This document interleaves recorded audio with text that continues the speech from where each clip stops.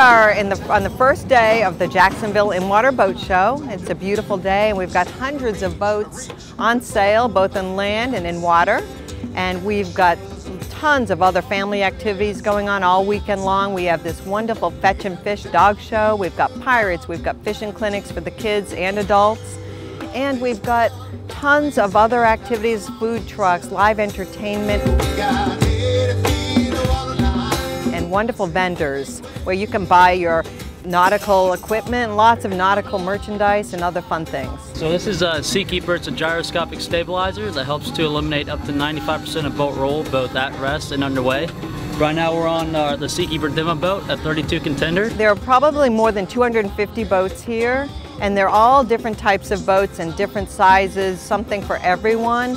If you are an expert boater, then you might want to upgrade. If you're a novice boater, you can come here and talk to all the experts and learn all about boating and maybe take one home with you because we've got plenty to choose from and there's some great sale prices. Woo!